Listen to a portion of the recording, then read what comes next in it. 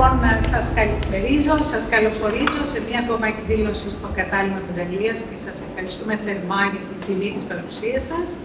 Σήμερα έχουμε την παρουσίαση του βιβλίου της Μελίνας Ζωγράφου από το φόβο στη χαρά, ένα βιβλίο το οποίο, μια παρουσίαση μάλλον που γίνεται στο πλαίσιο του 7ου Φεστιβάλ Καλλιτεχνικής Δημιουργίας Πρωτίων, ένα φεστιβάλ που βρίσκεται πλέον στο 7ο χρόνο του, που έχει αγκαλιάσει όλη την κοινωνία της Ρώμου και θέλω να ευχαριστήσω θερμά τους ε, διοργανωτές, τον Μάνο, τον Αναστασιάδη και τον Νίκο, τον Κωνσταντινίδη, χωρίς βέβαια να παραλείψω να αναφερθώ στη ψυχή του φεστιβάλ, στον Τάικα τον Γούι, τον οποίο ελπίζω να έχουμε τη μεγάλη χαρά σύντομα να έχουμε κοντά Σήμερα λοιπόν έχουμε το βιβλίο της ε, Μελίνας. Νομίζω ότι οι περισσότεροι από εσάς γνωρίζετε καλά αυτό το πολύ ξεχωριστό, ε, χαρισματικό και ταλαντούχο πλάσμα. Θα έλεγα ότι είναι πολύ τάλαντο. Εγώ τη γνώρισα ως ζωγράφο, ως φωτογράφο. Στη συνέχεια ανακάλυψα τα εικαστικά της, ε, τις εικαστικές της δυνατότητες και το ταλέντο της στη ζωγραφική και σήμερα με όλους εσάς αναμένω με ιδιαίτερο ενδιαφέρον να ανακαλύψω μια άλλη πτυχή της ε, δημιουργικής της ε, δραστηριότητας. Το βιβλίο αυτό που εγώ θα το ονόμαζα περισσότερο ένα εγχειρίδιο ή ένα οδικό χάρτη της μετάβασης από το φόβο στη χαρά. Για το βιβλίο αυτό θα μας μιλήσει ο αγαπητός ε, κύριος Κωνσταντινίδης με την ιδιότητα του λογοτέχνη, του συγγραφέα, γιατί και εκείνος έχει πολλές ιδιότητες, και βέβαια οι ίδιοι οι συγγραφές. Γνωρίζουμε λοιπόν ότι η Μελίνα είναι ένα άτομο που συνεχώς αναζητά νέα πράγματα, είναι πολύ απαιτητική με τον ίδιο της τον εαυτό, δεν εφησυχάζεται, δεν, δεν μένει στα κεκτημένα σε αυτά που ήδη έχει κατορθώσει και έχει επιτύχει, αλλά θέτει πάντα νέους στόχους στη ζωή της, πάντα θέλει να κερδίσει νέες κορυφές, μόνο που υπάρχουν κάποιες κορυφές, Μελίνα μου, για τις οποίες για να τις κατακτήσεις πρέπει πρώτα να κάνεις μια πολύ μεγάλη κουτιά στο απέναντι εσωτερικό μας γαλάζιο. Και νομίζω ότι είναι ακριβώς αυτό που έκανες και από αυτό αναδύθηκες πολύ πιο δυνατή, από αυτό το εσωτερικό σου ταξίδι και όχι μόνο εσύ αναδύθηκες πιο δυνατή, αλλά έφερες και στην επιφάνεια εξαιρετικούς θησαυρούς, τους οποίους με μεγάλη γενναιοδορία σήμερα μοιράζεσαι με εμάς. Ε, και θέλω να σε ευχαριστήσω ιδιαίτερα γι' αυτό, γιατί αυτό ήταν κάτι το πολύ γενναιόδορο. Σε ευχαριστούμε ιδιαίτερα, είναι και κάτι που σε χαρακτηρίζει αυτή η γενναιοδορία. Η Μελίνα το βλέπουμε όλοι, έχει τρικιστεί από τη φύση, από τη ζωή, με μια πολύ ξεχωριστή ομορφιά. Και εκείνη νομίζω σαν αντίδωρο σε αυτό το δώρο της ζωής, προσπαθεί και δουλεύει τόσο ώστε να διανύει, να διασχίσει τη ζωή με χάρη και ομορφιά. Και δουλεύει μέσα από τα δικά της εργαλεία, μέσα από τα δικά της ε, μέσα τέχνης και έκφρασης, τόσο ώστε να δημιουργεί μέσα και γύρω της ένα κόσμο πολύ πιο αρμονικό, ισορροπημένο, γαλήνιο. Εγώ θα σου ευχηθώ, Μελίνα μου, να συνεχίσεις να είσαι αυτή η υπέροχη νεράιδα που με το μαγικό της ραβδί μετατρέπει ό,τι αγγίζει σε ομορφιά και σε φως. Και να σου πω πόσο ευτυχισμένοι νιώθουμε και πόσο προνομιούχοι για το ότι αυτό το μαγικό σου άγγιγμα έχει κάνει και τις δικές μας ζωές πολύ πιο όμορφες και πιο φωτεινές. Mm Σε ευχαριστούμε από καρδιάς.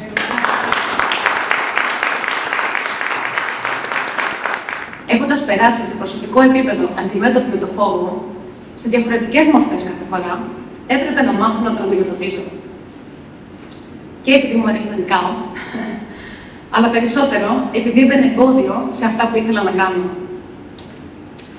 Η δημόσια μιλία, για παράδειγμα, είναι ένα από αυτά και θεωρείται και ο νούμερο ένα φόβος των ανθρώπων. Όμως, η εσωτερική μου ανάγκη να μοιραστώ τις συνειδητοποιήσεις που έχω αποκτήσει καθ' όλη τη διάρκεια της ζωής μου είναι πάνω από αυτό το φόβο.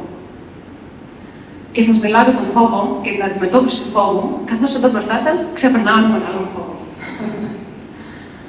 Ξέρετε, η πιο τρομακτική μας επιθυμία μπορεί συχνά να κρύβει τη μεγαλύτερη μας ευλογία πρόθεσή μου ήταν πάντα η ευτυχία και η απελευθέρωση της ανθρωπότητας. Η ευτυχία με την έννοια που όλοι γνωρίζουμε και η απελευθέρωσή της από την άγνοια. Γι' αυτό έχω αφιερώσει τη ζωή μου στη μελέτη και την κατανόηση της ευρύτερης εικόνας αυτής της διάστασης. Στόχος μου είναι να βοηθήσω τους ανθρώπους να θυμηθούν την θεϊκή τους καταγωγή και το εργαλείο της δημιουργίας με το οποίο είμαστε ευλογημένοι. Και έτσι βρίσκομαι σήμερα εδώ μαζί σας για να μοιραστώ πέντε βασικούς κανόνες της δημιουργίας. Την κατανόηση της τεχνολογίας των συναισθημάτων, την δύναμη του λόγου, την δύναμη της πρόθεσης, τη μαγεία της ροής και μία σύντομη αναφορά στην καταγωγή της ψυχής μας για να μας βοηθήσει να κατανοήσουμε και να αντιληφθούμε την ουσία της ύπαρξής μας και τον σκοπό της. Και με αυτό θα ξεκινήσω. Η ψυχή μας, λοιπόν, έχει έναν σκοπό, ο οποίος είναι αφηρημένος στα μάτια της λογικής.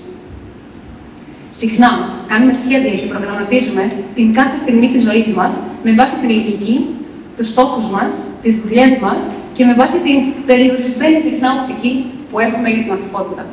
Για τη ζωή μας, συγγνώμη. Όμως, αν κάποιος έχει πιο διαβριμένη εικόνα της ζωής μας, αυτή είναι σίγουρα η ψυχή και όχι η λογική μας. Μέσα από τη διαδικασία της γέννα, η ψυχή, από συνειδητή ψυχή, μπαίνει σε μια ασυνείδητη διάσταση που ονομάζουμε γη. Η τρίτη διάσταση. Και έτσι, από συνειδητή ψυχή, γινόμαστε ένα μωρό που κλαίει και έχει ανάγκη 24 ώρη υποστήριξη.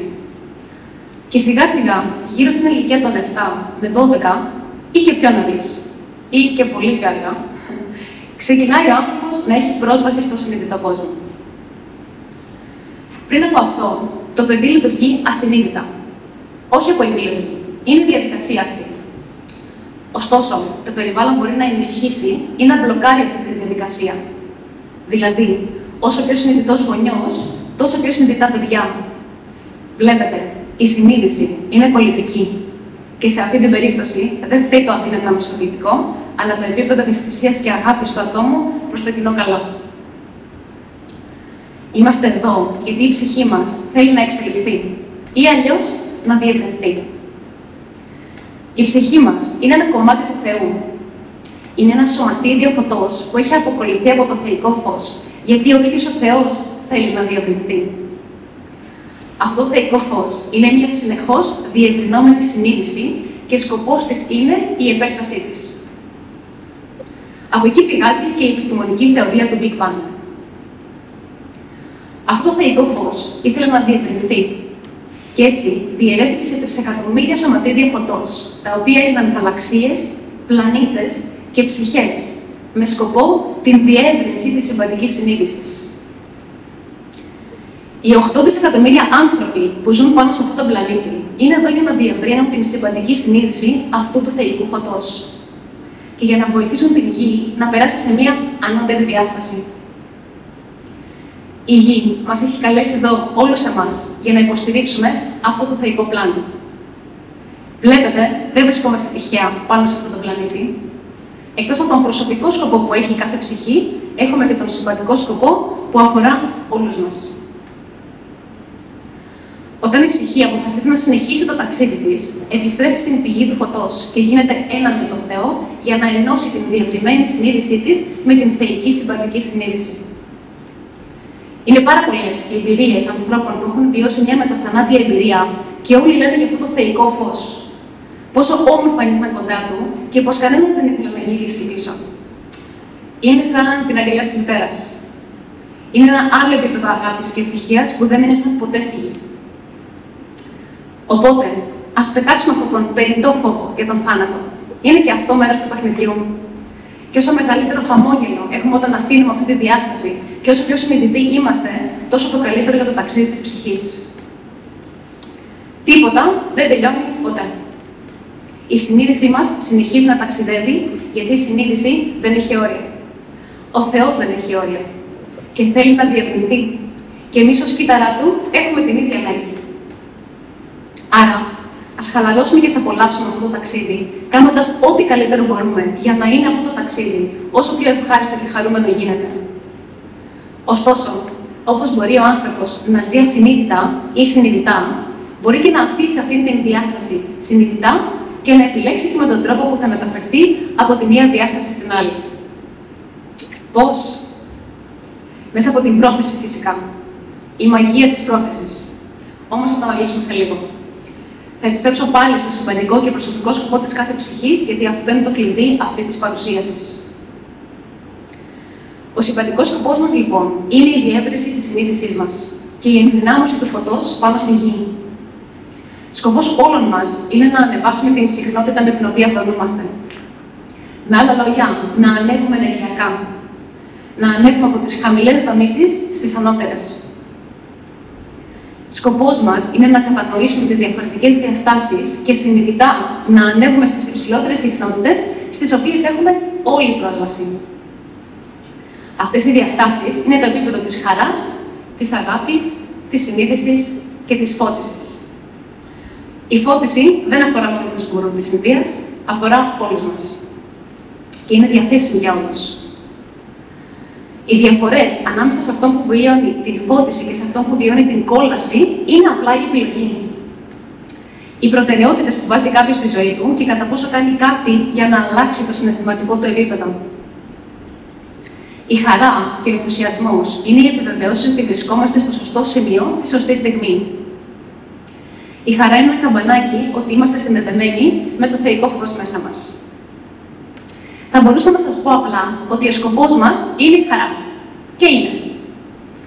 Και αν πάρετε μόνο αυτό από τη σημερινή παρουσίαση, θα είναι υπεραρκετό. Επειδή ίσως με αυτή την επίγνωση να γίνετε τελικά λιγότερο ανεκτικοί στις χαμηλές συχνότητες και συνειδητά πια να κάνετε ό,τι χρειάζεται, ώστε να ανεβάσετε την ενέργειά σας στις ανώτερες διαστάσεις. Όταν μπορούμε να βιώνουμε την χαρά σε 24ωρη βάση, χωρίς κάποιο λόγο, τότε εκπληρώνουμε σε πολύ μεγάλο βαθμό το συμβατικό μας σκοπό. Όταν δονούμαστε στη συχνότητα της χαράς, ανεβάζουμε σε ενεργειακό επίπεδο περίπου 700.000 ανθρώπους, σχεδόν ένα εκατομμύριο. Βλέπετε πώ τελικά φέρουμε ευθύνη ένα από τον άλλον. Και ίσως αυτή η επίγνωση να μας επηρεάσει τόσο, ώστε να πάρουμε αυτή την ευθύνη προσωπικά και να καταλάβουμε ότι το να είμαστε χαρούμενοι δεν εξυπηρετεί απλά εμάς ή την ατμόσφαιρα που επικρατεί μέσα μας, αλλά επηρεάζει με τον ίδιο τρόπο τους αγαπημένους μας, αλλά ακόμη περισσότερο ένα πολύ μεγάλο ποσοστό της ανθρωπότητας. Βοηθάμε στην ουσία να ανέβει ο μέσος όρος επίπεδο ευτυχίας, στο οποίο δονείται η ανθρωπότητα στο σύνολο αλλά και την ανέλυξη της γης στις ανώτερες διαστάσεις.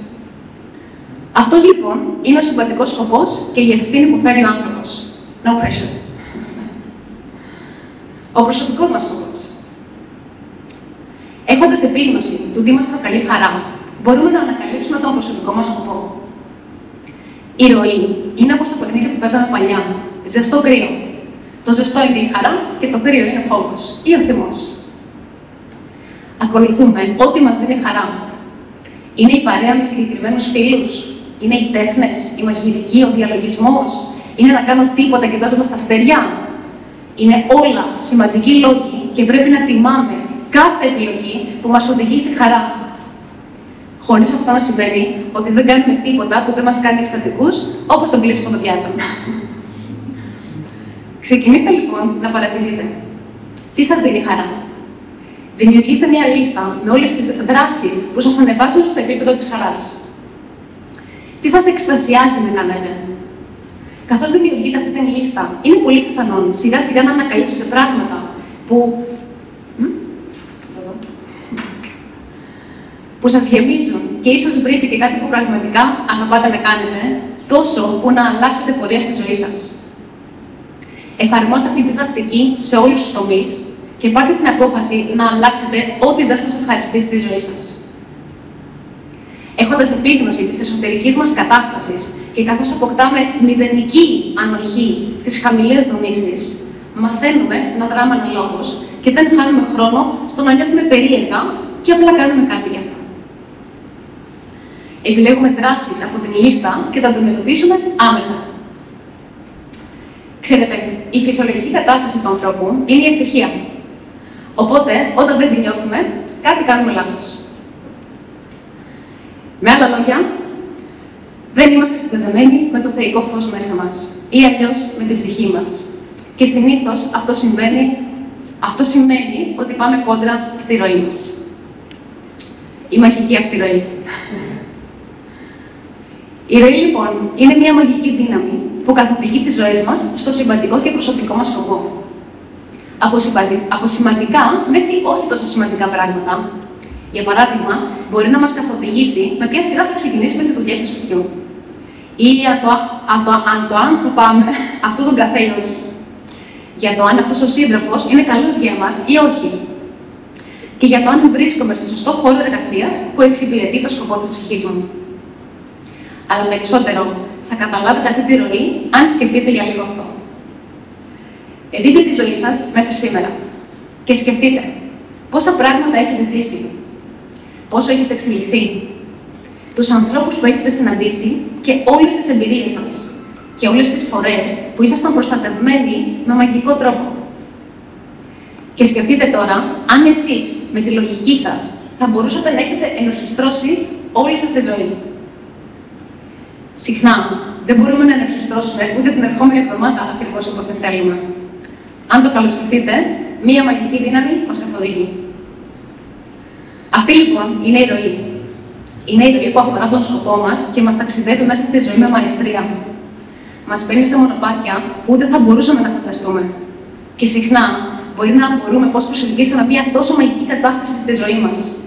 Και αντίστοιχα, όταν απορούμε πώς προσεγγίσαμε μια δυσάρεστη κατάσταση στη ζωή μας, είναι συνήθως γιατί πήγαμε κόντρα στη ροή μας και δημιουργήσαμε ασυνείδητα.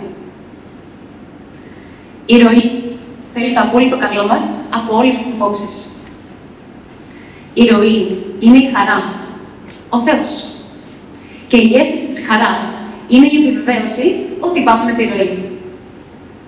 Όταν νιώθουμε θυμό, πάμε κόντρα στη ροή μας. Η ροή ο σκοπός μας, το ανώτερο μας καλό, η ευτυχία μας και ο Θεός είναι ένα. Πώς μπορώ όμως να ξεκινήσω να ακολουθώ ή ακόμα καλύτερα να αφαιθώ στη ροή μου; Είναι απλό. Είσαι στο σπίτι και σε έχουν καλέσει να πας κάπου. Όμως για κάποιο λόγο μιστάζεις πάρα πολύ. Ή δεν βρίσκεις ρούχα να πάρεις και έχεις θυμώσει. Και όσο σκέφτεσαι να πας, τόσο θυμώνεις. Αυτή είναι η ροή που σου λέει ότι ίσως καλύτερα να μείνεις σπίτι και να κοιμηθείς. Φυσικά, αν υπάρχει δυνατότητα. Αν είναι ένα σημαντικό συνέδριο, σημαίνει ότι απλά δεν είσαι καλά προετοιμασμένος. Κάτι άλλο που κάνουμε συχνά είναι να καρπίζουμε όλη μέρα πράγματα χωρίς να αφήνουμε ούτε ένα παραθυράκι για να υπάρξει η ροή. Όπω, ε, πώς θα αφήσω χώρο στη ροή μου για να συνδημιουργήσει μαζί μου; Όταν μας ζητάνε να πάμε ένα καφέ την άλλη εβδομάδα. Μην κλείσετε μέρα και ώρα. Μιλήστε εκεί κοντά και η ροή, αν είναι να σας ευνοήσει με τον οποιοδήποτε τρόπο αυτή η συνάντηση, θα φροντίσει να γίνει την κατάλληλη στιγμή με τον καλύτερο τρόπο. Πιο απλά, ακολουθήστε το μονοπάτι που είναι ανοιχτό. Το μονοπάτι που είναι πιο εύκολα προσβάσιμο. Με κάλεσαν να πάω σε μια συνάντηση εδώ δίπλα και έχω κι άλλη μια πρόταση να πάω σε ένα θέατρο που είναι δύο ώρες από εδώ και δεν βρίσκω και παρέα να πάω εκεί. Καταλαβαίνετε το πάω. Το ζυγίζετε και με βάση τι θέλετε πιο πολύ και αν έχετε και την πρόθεση να ακούσετε τη ροή, εκείνη θα σας καθοδηγήσει με τον καλύτερο τρόπο. Η ροή στη ζωή μου. Να σας δώσω ένα δικό μου παράδειγμα για το τι μου έφερε εμένα η ροή που δεν θα μπορούσα ποτέ να φανταστώ. Μιας που, έχω, μιας που έχω επιλέξει το μονοπάτι της χαράς και της φώτισης στη ζωή μου, έχω υπάρξει απόλυτα ανοιχτή στα μηνύματα που μου στέλνει η ροή. Και έτσι, υιοθετώ διάφορες τεχνικές και τρόπους ζωής προκειμένου να βιώνω τις ανώτερες διαστάσεις. Για τους άπλιστους που θέλουν να βιώνουν την φώτιση, λοιπόν, υπάρχουν κάποια εργαλεία που μας πάνε λίγο πιο κοντά. Ένα από αυτά είναι τα φίδια. Εγώ είχα από μωρό άριστη σχέση με τα ζώα και μία απόλυτα ξεκάθαρη επικοινωνία μαζί τους. Όταν άκουγα για φίδια, έλεγα πάντα ότι μου αρέσουν. Δεν υπάρχει βέβαια και κάποιος ζωάκι που να μην μου αρέσει, αλλά αυτό είναι ένα άλλο θέμα. Όμως, εγώ είχα γατάκια, σκυλάκια και άλλου τέτοιου είδους ζωάκια στην κατοχή μου. Καθώς μελετάω και ψάχνω τρόπους για αφύπνιση, βρήκα αναφορές για το ότι δεν μπορούμε να διαχωρίσουμε την φώτιση από τα φίδια. Και αυτό ήταν αρκετό να μπω στη διαδικασία να μάθω τα πάντα για τα φίδια, με σκοπό φυσικά να πάρω το δικό μου φιδάκι. Και έτσι έγινε. Βρέθηκα πριν 1,5 χρόνο να αγοράζω το πρώτο μου φιδάκι, ο Άγγενα, που σημαίνει τρίτο μάτι. Η χαρά και η ευλογία που έχει φέρει στη ζωή μου είναι πραγματικά απερίγραπτη. Ήταν έρωτα με την πρώτη ματιά.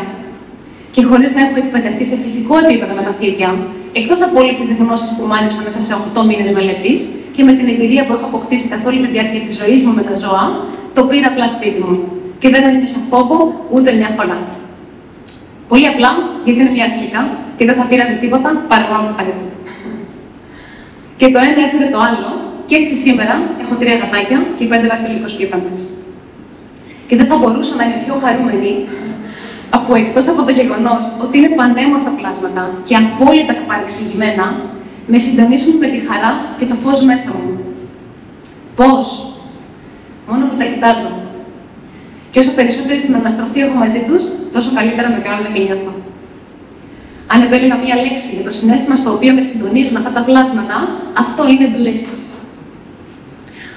Όποιος θα μου έλεγε ότι σε δύο χρόνια θα είχα πέντε πίθανες, και όχι κάποιο απλό σχέδιο, αλλά πέντε σχετικά σπάνια χρώματα και ότι θα μου έφεραν τόση ευτυχία στη ζωή μου, δεν είναι ότι θα το έβρισκα απίθανο, αλλά θα γελούσα γιατί θα μου ακούγονταν λίγο extreme. Και να είμαι σήμερα εδώ, έχοντας επιτρέψει στην ροή να με φέρει κοντά στην χαρά και την φώτιση. Αυτό που ζητάω, η ροή μου το φέρνει. Με τον καλύτερο τρόπο πάντα. Αυτά τα πλάσματα είναι μία από τις μεγαλύτερες ευλογίες που έχω την τιμή να βιώνω και είναι μία από τις 38 ιστορίες της ενορχίστρωση της ροής στη ζωή μου. Πάμε λοιπόν να αναλύσουμε άλλον έναν από τους πέντε βασικούς κανόνες της δημιουργίας, που είναι η κατανόηση της λειτουργίας των συναισθημάτων. Η σκάλα των συναισθημάτων που μας ταξιδεύει στις διαφορετικές διαστάσεις ύπαρξης. Αυτό ίσως να ακούγεται περίπλοκο, αλλά είναι πάρα πολύ απλό αν το κατανοήσουμε. Όπως μπορείτε να δείτε στο σχεδιάγραμμα που κρατάτε στα χέρια σας, βλέπετε την σκάλα των συναισθημάτων.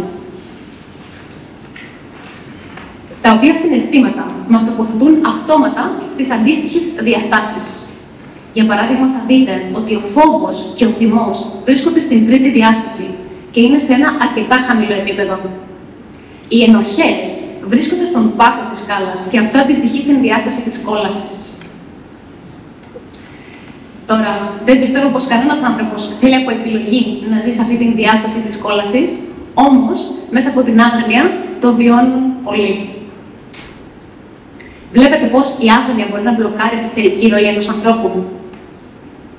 Η ζωή, λοιπόν, μπορεί να μας φέρνει αντιμέτωπους με καταστάσεις που μας προκαλούν φόβο, θυμό, κατάθλιψη και άλλα χαμηλού επίπεδου συναισθήματα, και αυτό είναι απόλυτα κατανοητό. Νικάμε όμως τον φόβο, γιατί τον καταλαβαίνουμε. Τον βλέπουμε και τον απομυθοποιούμε. Γιατί δεν πάθαμε τελικά τίποτα στην απόπειρα να δοκιμάσουμε αυτό που φοβόμαστε. Ήταν απλά σενάρια και άδικος χρόνος, ανησυχίας και σπατάλη ενέργειας. Συχνά μας δίνεται η εντύπωση ότι είμαστε θύματα των συναισθημάτων και των καταστάσεων. Η αλήθεια όμως είναι πως δεν είμαστε θύματα και τίποτα δεν συμβαίνει σε εμάς. Πολύ απλά, γιατί στην πραγματικότητα είμαστε μικρογραφίες του δημιουργού. Είμαστε δημιουργοί και δημιουργούμε κάθε δευτερόλεπτο που περνάει. Η κάθε σκέψη, το κάθε συνέστημα, η κάθε κατάσταση και εμπειρία που βιώνουμε είναι δημιούργημά μας και έχει την δύναμη να δημιουργήσει την πραγματικότητά μας. Άλλοι δημιουργούν συνειδητά και άλλοι δημιουργούν ασυνείδητα. Όταν νιώθουμε θύματα των καταστάσεων, είναι γιατί δημιουργούμε ασυνείδητα. Δημιουργώ συνειδητά σημαίνει ότι σκέφτομαι πριν μιλήσω. Η κάθε λέξη που βγαίνει από τα χείλη μου είναι απόλυτα συνειδητή και μελετημένη να μου φέρει το επιθυμητό αποτέλεσμα. Επιλέγω τα συναισθήματα και τις λέξεις μου, γιατί μέσα από αυτά δημιουργώ την πραγματικότητά μου. Τα μαθήματα που μας φέρνει το επιλεγμένο μας μονοπάτι είναι ευλογίες και μπορούμε να επιλέξουμε αν θα θριαμβεύσουμε σε κάθε δυσκολία ή αν θα επιτρέψουμε να μας καταβάλει. Ό,τι μπορούμε να κάνουμε με θυμό, μπορούμε να το κάνουμε και με χαρά. Το σίγουρο είναι ότι και κάτι δύσκολο, αν το αντιμετωπίσουμε με χαρά, θα βρούμε πιο γρήγορα την λύση και θα έχουμε και τα ωφέλη της χαράς. Διότι η χαρά είναι ένα πολύ δυνατό φάρμακο για την ενίσχυση του νοσοποιητικού συστήματος λόγω της υψηλής συχνότητας που εκπέμπει. Η χαρά βρίσκεται δύο θέσεις πριν την φώτιση. Είναι για όλους μας αρκετά εφικτό να δημιουργήσουμε μια ευχάριστη κατάσταση, βλέποντας ένα αστείο βίντεο, παίζοντας κάποιο παιχνίδι, περνώντας χρόνο με τα παιδιά μας ή τα κατοικίδια μας. Τα συναισθήματα τα επιλέγουμε, δεν μας επιλέγουν. Αυτό μπορεί να είναι δύσκολο να το καταλάβει κάποιος που ζει ασυνείδητα, διότι έχει την ψευδέστηση ότι κάποιος έξω από τον ίδιο ελέγχει τη ζωή του. Έχει την αίσθηση ότι κάποιος τρίτος ευθύνεται για αυτό που βιώνει και συχνά μπορεί πράγματι να ευθύνεται κάποιος τρίτος για μια κατάσταση, αλλά και σε αυτή την περίπτωση έχουμε δώσει εμείς το ελεύθερο με ασυνείδητο τρόπο. Είναι απόλυτα εφικτό για όλους μας να δημιουργήσουμε μια ευχάριστη κατάσταση. Η χαρά είναι ένα ισχυρό συνέστημα και έχει την δύναμη να θεραπεύσει.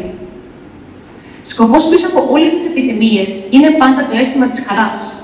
Θέλουμε ένα νέο αυτοκίνητο επειδή θα μας δώσει χαρά. Θέλουμε τον νέο σύντροφο επειδή θα νιώσουμε χαρά.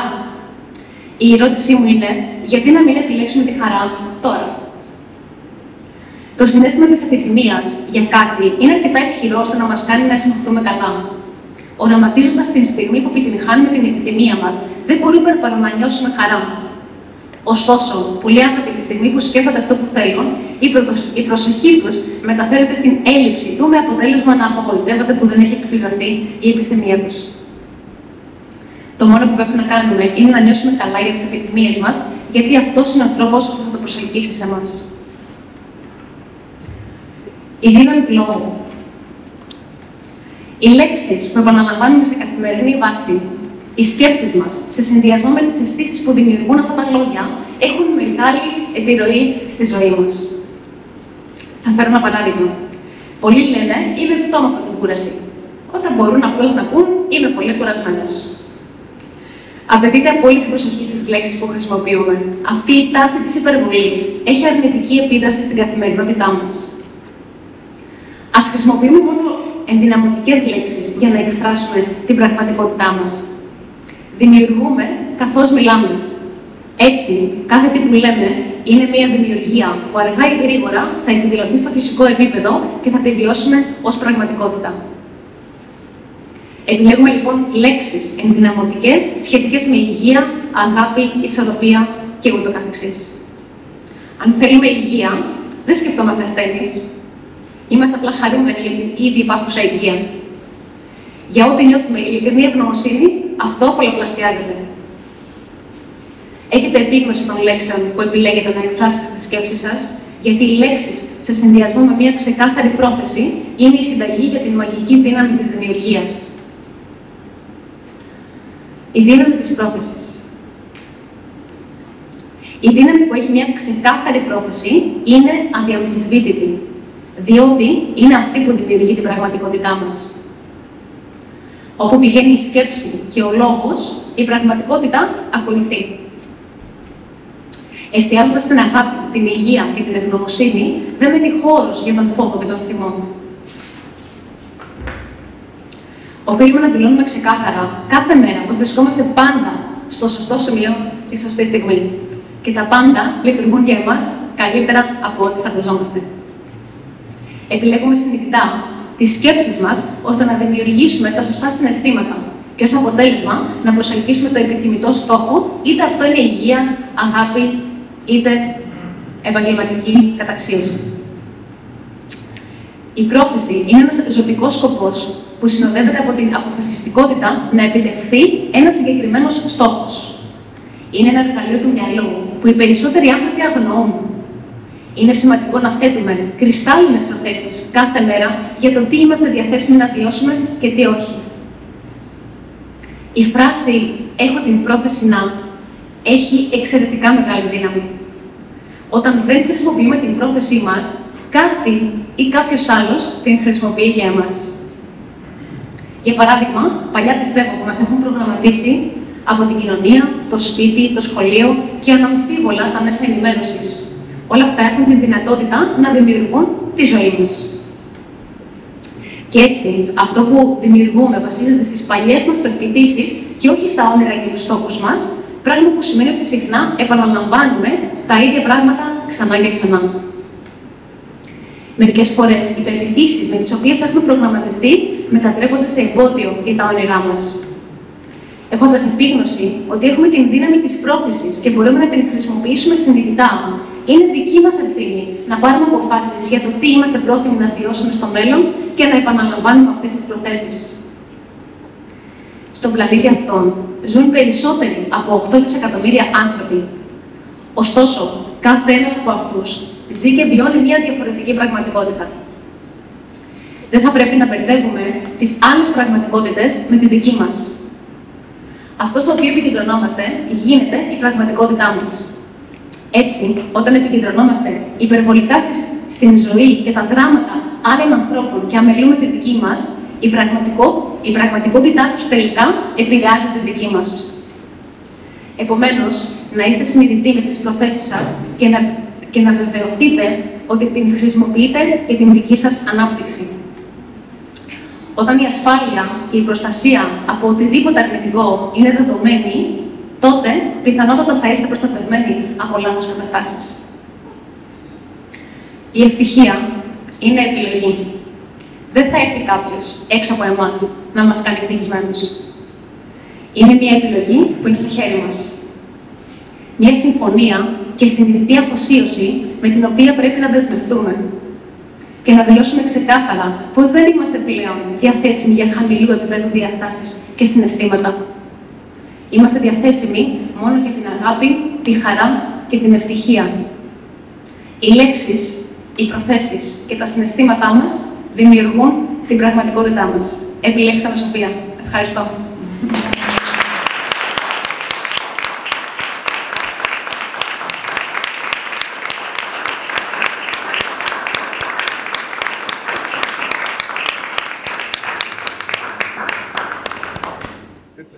Ε, θα ήθελα πρώτα απ' όλα να ευχαριστήσω θερμά την κυρία Λίκη Μοσχή. Ε,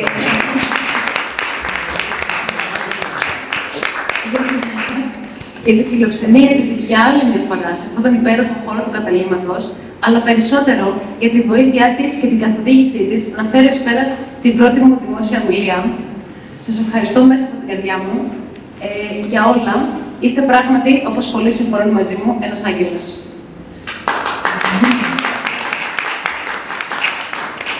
Θέλω επίσης να ευχαριστήσω τον αγαπημένο Τάκη Μπούι για την υπέροχη διοργάνωση για έβδομη φορά. Ένα φεστιβάλ που δίνει ευκαιρίες σε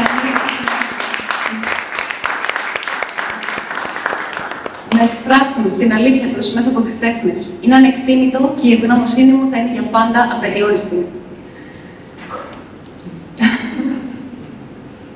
και φυσικά ένα μεγάλο ευχαριστώ στον κύριο Νίκο Κωνσταντινίδη για την βοήθειά του στην οργάνωση του φεστιβάλ και για τη μοναδική και συγκινητική του παρουσίαση. Δεν θα μπορούσε να το κάνει κάποιος άλλος καλύτερα. Σας ευχαριστώ από καρδιά.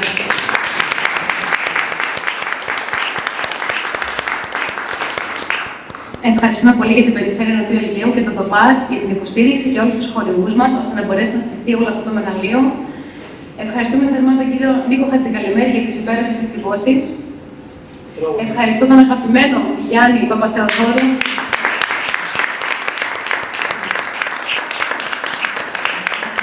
Που προσφέρθηκε να πει αυτή την ομιλία με τις μοναδικές του μουσικές που θα απολαύσουμε μέσα τώρα. Και τέλος, ένα μεγάλο ευχαριστώ σε όλους εσάς που, που με τιμήσατε με την όμορφη παρουσία σας και περισσότερο που είστε ανοιχτοί να διευρύνετε τη συμπαντική σας συνείδηση. Ένα μεγάλο ευχαριστώ στην Ολυμπία για το υπέροχο βίντεο.